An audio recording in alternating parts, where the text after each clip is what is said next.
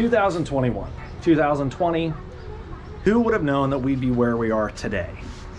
Hopefully, the pandemic will be coming to an end. Everybody's getting the vaccines and with everything else. But can you imagine right now, for the people who are invested in AMC and GME, to, to understand the situation that's going on right now?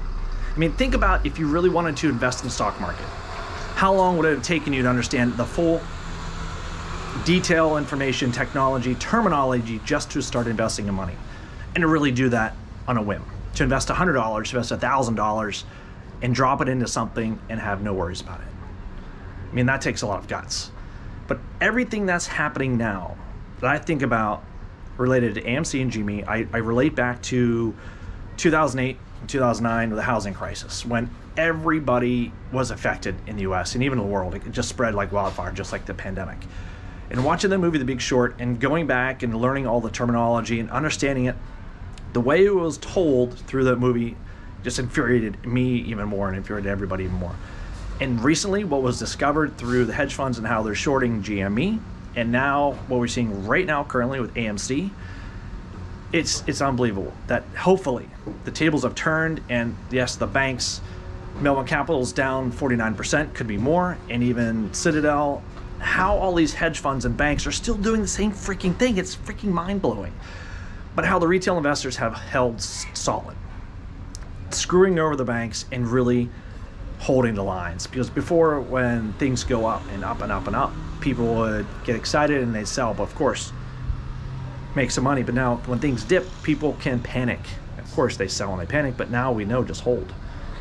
And I, am just still mind blowing mind blown about all of this and i'm really so thankful to all of the youtube channels out there from Trey's Trades to a lot of the other channels out there that are helping to dilute transfer knowledge and teach us through every day, every week, the highs and lows, what's happening, and giving their opinions. Because again, this is not financial advice, it's education.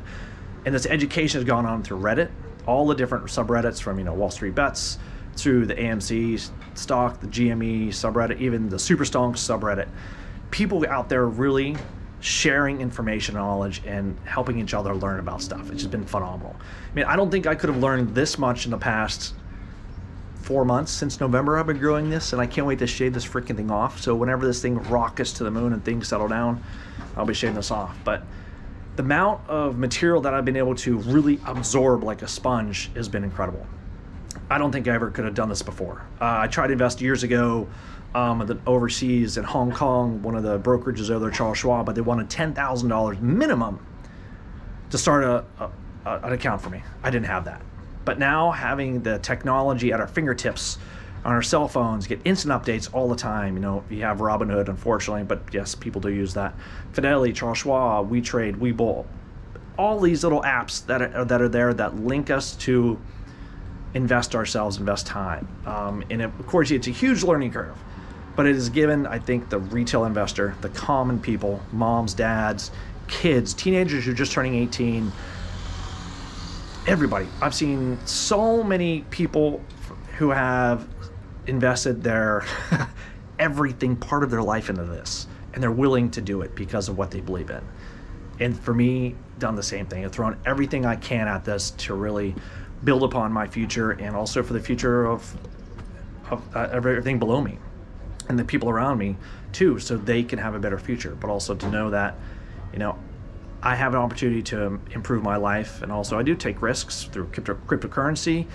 But knowing that I don't have to keep my money in just a bank account and learn that, earn that little deposit fee, and have the banks take more money out.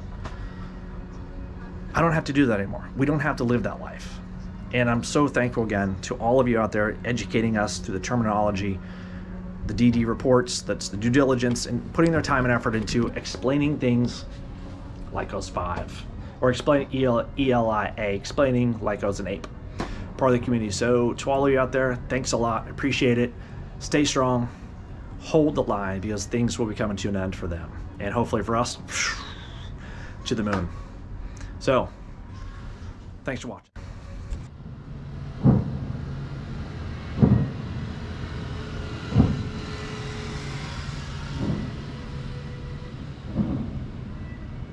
Hopefully, that'll be us soon.